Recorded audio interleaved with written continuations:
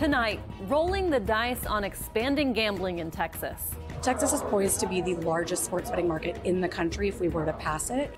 State lawmakers make the case for sports betting and legalizing casinos, but some are concerned how it could hurt Texans. Plus, is TikTok out of time? The app's CEO hopes to dodge a possible ban amid a standoff with U.S. lawmakers, and one of his solutions is called Operation Texas. And later, a decades long secret revealed how a former Texas politician says he unknowingly helped sabotage Jimmy Carter's reelection campaign and why he's finally coming clean. Capital Tonight starts right now.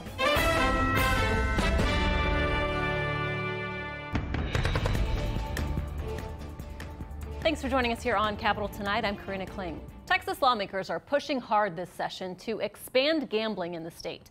A House panel heard hours of testimony this week over efforts to legalize casino gambling and permit sports betting. The lawmaker spearheading the sports betting bill argues it's already rampant in Texas and regulating it would help protect consumers. We can, I believe, with this carefully crafted bill, set up a framework um, and parameters that promote transparency, um, that provide appropriate protections and accountability. Supporters also stress it would provide thousands of jobs and bring in millions in state revenue, but not everyone is convinced. Our Charlotte Scott reports on why some Texans are worried that gambling addiction will rise in Texas if mobile sports betting is legalized. When Saul Malik was a sophomore at Trinity University in San Antonio, an acquaintance messaged him about joining a sports book. And I won that first bet. And even though it was like 10 bucks, I felt like I was at the top of the world higher than I'd ever been before. Replicating that feeling turned into a gambling addiction. He lost $20,000 and is still paying it off. He went to his first recovery meeting in 2018, but didn't take it seriously until a mentor talked to him about getting clean. It really sort of opened my eyes to the level of desperation I was in and feeling, you know, suicidal and really had no hope and um, I decided to just, you know, had to try something else. He stopped gambling in 2019. Now he's studying clinical mental health counseling at Southern Methodist University, and he wants to help gambling addicts. A 2021 study by a gambling recovery organization reveals that an estimated 2.2% of Texas adults are believed to manifest a gambling problem. That's more than 485,000 people. This is where it's more important than ever to promote safer gambling practices. Devin Mills, the president of the Texas Coalition on Problem Gambling, says Texas lacks resources for gambling addicts. Plano area Representative Jeff Leach's bill to legalize sports betting for adults over 21 tries to address that. It says 2% of the tax revenue generated by gambling would go to research and gambling addiction treatment. If mobile sports betting is legalized, estimates show Texas will generate nearly $70 million in year one alone.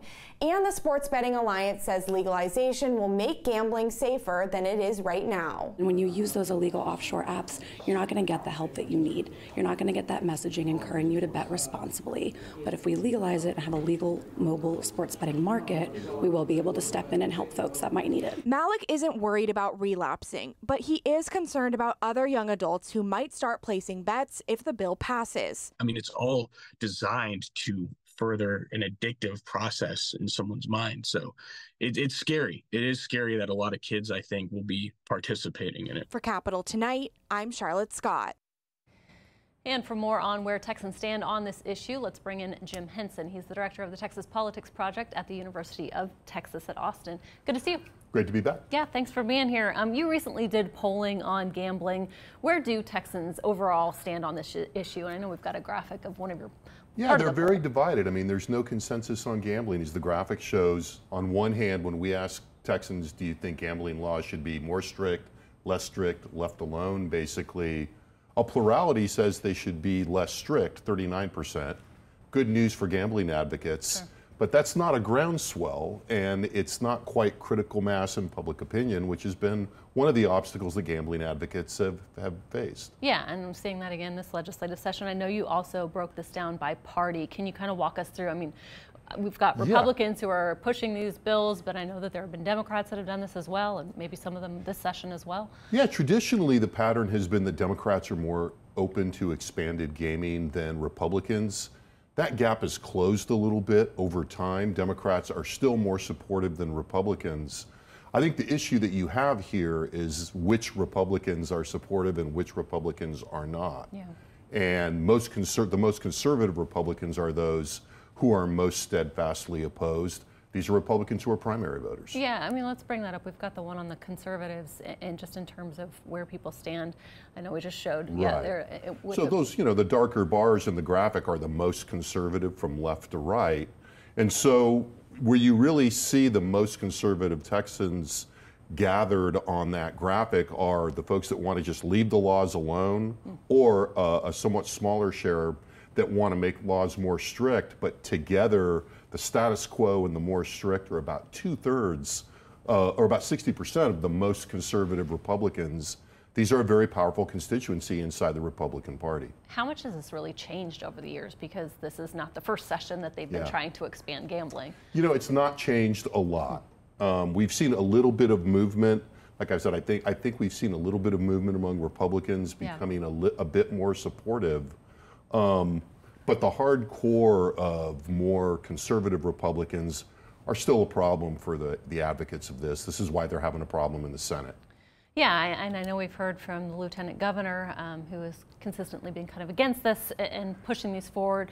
Uh, what do you think this ultimately means then for um, these bills passing? I mean, obviously, this would be something that would be a change to the Constitution, so it requires ultimately right. requires voter approval. I mean, do you see any traction on this? Yeah, I mean, I you know, I think as your report illustrated, we're seeing a, a little bit of traction in the House, and I think yeah. that on the plus side, the the interests that are interested in, in expanding gambling have really solved one of their big internal problems. And even and Chairman Guerin, when he laid out his bill, said this in the legislature. That is, there are a lot of competing gambling interests and a lot of things that have hurt these bills legislatively in the past have been one or the other faction within the broader industry feeling cut out and not supporting legislation these big omnibus bills that yeah. we're seeing this time seem to help solve that problem, but it's not solved the problem in the Senate. Yeah. So I so I think I I think it's still it's still I would bet against it. Yeah, good, good, good pun there, and we'll see. Kind of can continue to roll the dice on this issue. we see where things. Like yeah, we could. We've done it before, I think, Jim. So, Jim Henson, we'll leave it there. Thank you so much. Great to be back, Rita. Thank you.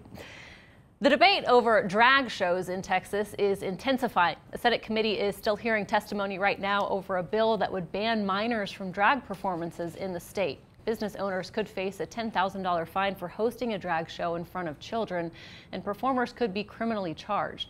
Supporters of the bill say it's to protect children from sexually explicit entertainment, but opponents say it's just another attack on the LGBTQ community. You may think that this is something that won't actually harm anybody, um, will be an inconvenience perhaps to drag performers and businesses, but I promise you, legislation like this encourages people to act more violently towards our community, and it needs to stop. Vote against this bill. Another bill which would remove public funding from libraries that host drag reading events was also heard today.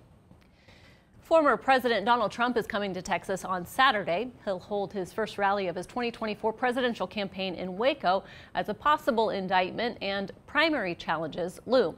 The Texas Politics Project at UT Austin, who you just heard from, also recently surveyed Texans on Trump and found a majority of Republicans think Trump should run for president again. But most independent voters say Trump should avoid another shot at the White House. The polling and his visit to Texas come as the Manhattan grand jury investigating Trump's reported hush money payments to an adult film star is on hold until next week. They are expected to meet again Monday, but no word on when they will vote. Turning now to Capitol Hill, the CEO of TikTok faced Congress for the first time as a growing number of lawmakers are raising concerns about the app's data policies and its ties to China. Taylor Popielarz reports on how one of the CEO's possible solutions involves Texas. More than 150 million Americans use TikTok, but several members of Congress made clear Thursday they think the app should be banned. TikTok surveils us all, and the Chinese Communist Party is able to use this as a tool to manipulate America as a whole. I'm not convinced that the benefits outweigh the risks. TikTok CEO Shou Chew promised the House Energy and Commerce Committee that he will ensure Americans' data remains secure. We have to earn their trust with decisions we make for our company and our products. There is widespread suspicion in Congress that TikTok's parent company, Beijing based ByteDance, is beholden to the Chinese government and has higher ups willing to do its bidding. That concern, part of a growing mistrust in Washington about China's business practices and government. Chew said TikTok is not owned or controlled by the Chinese government and that he's working to have Americans' TikTok data stored on U.S. soil and overseen by the Texas based tech company Oracle. Some politicians have started talking about banning TikTok. Chew previewed his testimony on TikTok earlier this week, encouraging the app's fans to reach out to lawmakers or even come to Capitol Hill. Some users did just that. Small business owners and teachers who touted the app's importance. I got a chance to stop by, leave my name in the guest book. TikTok allows me to break down those classroom walls and educate millions of people around the world. But most lawmakers at the hearing remained skeptical. One introduced parents of a child who died by suicide after being exposed to self harm content on TikTok. Your company destroyed their lives. Others quizzed Chew on whether TikTok censors certain material. The massacre in Tiananmen Square. That kind of content is available on our platform. You can go and search it. I will remind you that making false or misleading statements to Congress is a federal crime. Some lawmakers showed support for TikTok on Wednesday, saying the app offers a platform to often marginalized people. They warned against unfairly pushing anti China rhetoric. It poses about the same threat that companies like Facebook and Instagram and YouTube and Twitter pose. Some lawmakers want TikTok banned in the U.S. Others want the government to investigate the company and consider restrictions while also tightening data privacy laws. The Biden administration has said it wants TikTok to be sold to a U.S. based company or potentially face a ban. In Washington, Taylor Popielarz, Capital Tonight. Still to come on Capital tonight, the price of so called school choice, how much a voucher like program could end up costing the state. Plus, spilling a 40 year old secret. A former prominent Texas lawmaker reveals his role in thwarting Jimmy Carter's reelection campaign.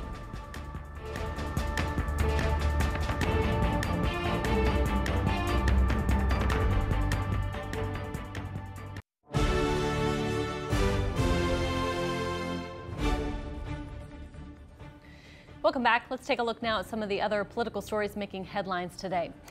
A Texas House panel approved a new state budget that includes property tax cuts, border security initiatives, and pay raises for state employees and teachers.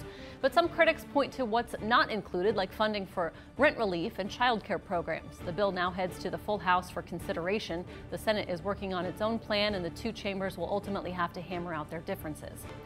A school voucher like program in Texas could cost $1 billion within three years. That's according to a newly released fiscal note from the state's Legislative Budget Board. The board looked at the Senate's priority plan that would give families wanting to switch to private schools $8,000 in public funds to spend on tuition or other costs.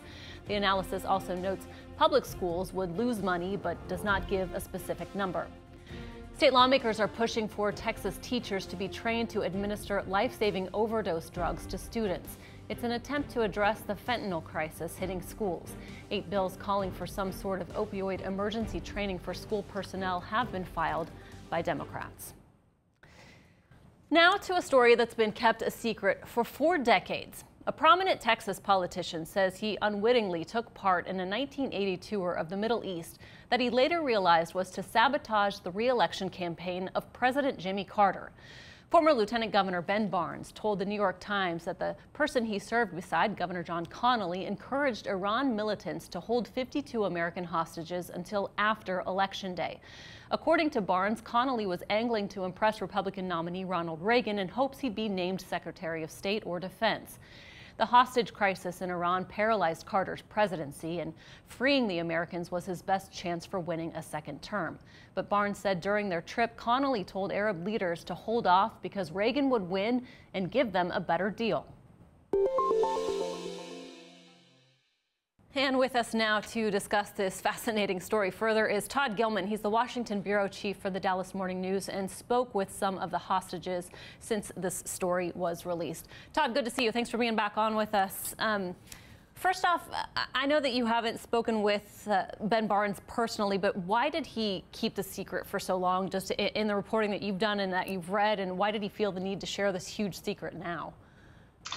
Well, the second question is a lot easier. Uh, Jimmy Carter is 98. He recently went into hospice care. He's not going to be around very much longer. And Ben Barnes told the New York Times that uh, knowing that the end was near for Carter, he just felt uh, a need to clear his conscience and unburden himself. Uh, why Barnes sat on this secret for so many years, other than um, trying to uh, avoid being implicated in something that is absolutely scandalous um, and despicable in the view of many people. Uh, he also was a Democrat, although Connally had been a Democrat and had become a Republican.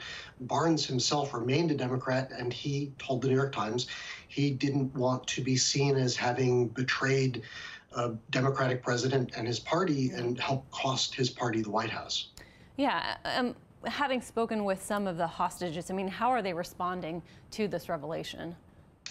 Well, rumors were actually circulating at the embassy in Tehran during their captivity that something surely must be going on domestically back home in, in Washington uh, on, on the U.S. political scene to have kept the captivity going on for so long. They they felt that something was wrong, um, and even well after their release, there were a lot of suspicions that there had been back channeling of some sort or some kind of political sabotage that had prolonged the captivity. Uh, so really the, the hostages, former hostages who I spoke with weren't stunned uh, to find out that there was actually a witness, that there was finally evidence and testimony to support uh, a suspicion that they and many, many others had had for years. Todd, what do you think this will mean for Carter's legacy? Do you think it'll change anything?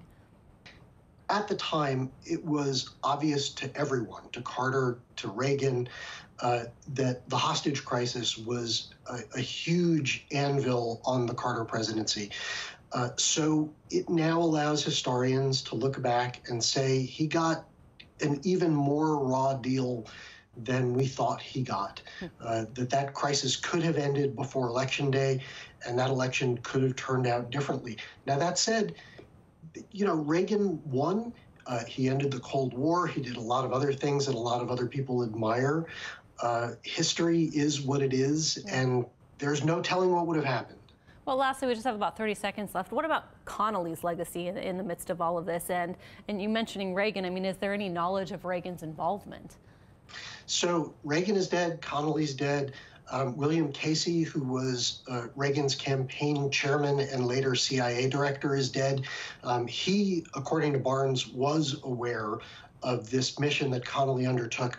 There's no evidence and no way to know whether Reagan himself knew about it, this certainly tarnishes John Connally's legacy. There's uh, there's just no there's no way to to whitewash it that Connally went to the Middle East, talked to Anwar Sadat and other Arab leaders, tried to get messages to Iran, uh, Iranian leaders yeah. to prolong the hostage uh, captivity. There's uh, it doesn't look good on his posthumous resume. Yeah, just a, a, stunning revelation that I know you'll continue to look into. Todd Gillman of the Dallas Morning News, thank you so much for your time. Sure thing. And still to come on Capital tonight, the fight against fentanyl hits home for one Texas mom. How she's shining a light on opioid overdoses in children.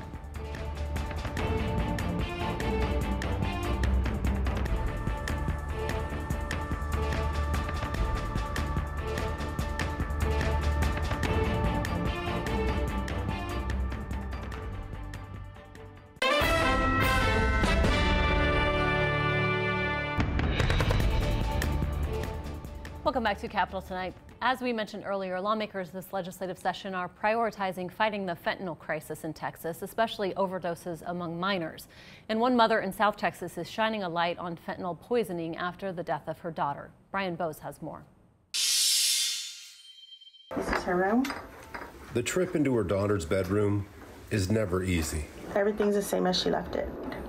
This is where I found her, laying on the bed. But Veronica Caprosi wants you to remember this. I went to go touch her, and her skin was cold, hard, white, and purple. To remember her pain. We think she's gonna walk in our front door, our garage door. But no, she's gone. To remember her daughter Danica and how one mistake took her life last July. One of her last text messages on her phone was telling her friend that she was going to take the last Percocet. But it wasn't Percocet, it was fentanyl. Danica's on here. She's 17. The Caprosi's child was gone. All these. Not because of a drug overdose or addiction, but because of a terrifying reality. There's more. This is just a handful. One they share with so many others. They lost their son Spencer. This is Ginger. She lost her daughter Brooke. These families still grieve, but they're not letting it stop them from fighting back. There's my baby. There she is. A billboard featuring Danica stands in Selma, Texas, just outside San Antonio.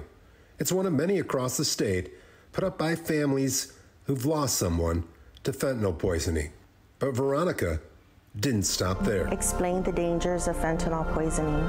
She recently teamed with State Representative John Lujan and the San Antonio Firefighters Union to make this PSA. Danica was the light of our life. Its intent? To let you know this. It could hit any family. Rich, poor, white, black, blue, purple. Fentanyl poisoning doesn't discriminate. And maybe more importantly, to help another family avoid the same trip they make every day. And that was Brian Bose reporting. That is all the time that we have tonight. We're back again tomorrow with the latest in Texas politics. Until then, thanks for watching. Stay safe and have a great night.